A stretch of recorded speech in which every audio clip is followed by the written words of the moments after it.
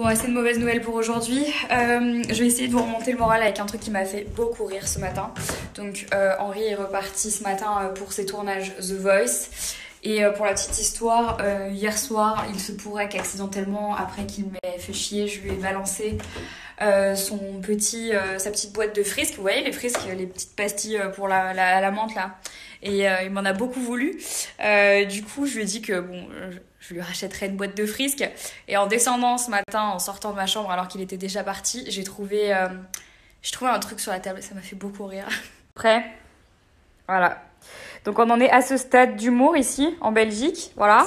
Donc le mec a pris le temps à 7h du matin, avant de partir, de m'imprimer cette feuille pour me dire que je devais lui racheter un paquet de frisques, putain.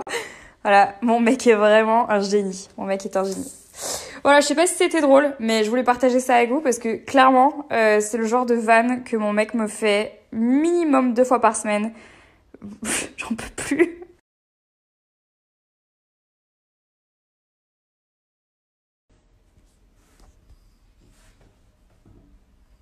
Y a quoi là?